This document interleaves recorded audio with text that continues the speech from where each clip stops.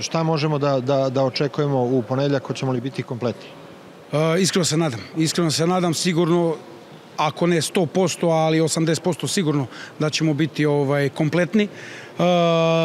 I, i takve povređene sigurno da će biti ovaj u sastavu i da će pokušati da daju svoj doprinos. Koliko će to biti, sad vidjet ćemo, zavisi od situacije, ali siguran sam u to da će one dati 100% jer znaju šta nas čeka, znaju koliko nam je to bitno i mislim da tu neće biti nikakvih problema što se tiče te borbenosti. Opet kažem, dobra odbrana danas, 15 minuta, 20, to za, da zadržimo taj kontinuitet, da zadržimo, a sigurno da možemo i sa zdravijom Simom uh, Tamarom i sa zdravijom Kneževićkom možemo da održimo taj tempo.